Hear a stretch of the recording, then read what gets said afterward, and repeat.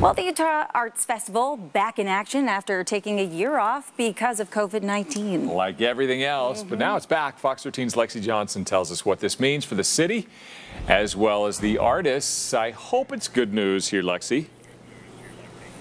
Hey, good morning, Dan and April. Yeah, in a little under an hour, Library Square is going to be packed with people. So the Utah Arts Festival is a huge economic boom, not only for downtown Salt Lake City, but for the artists showcasing their, showcasing their work as well. So 95 visual artists, 50 to 60 live performers, and 40 literary performers will be showing off their talents this weekend.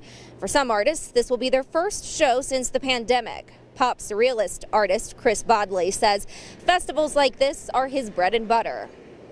There's online stores and things like that, but having a, a live event that you can come and interact with the people, uh, it's it's you're, you're so much more successful uh, in being able to share your artwork uh, because you have that, that interpersonal connection. You can kind of express yourself and, and meet with people and things like that.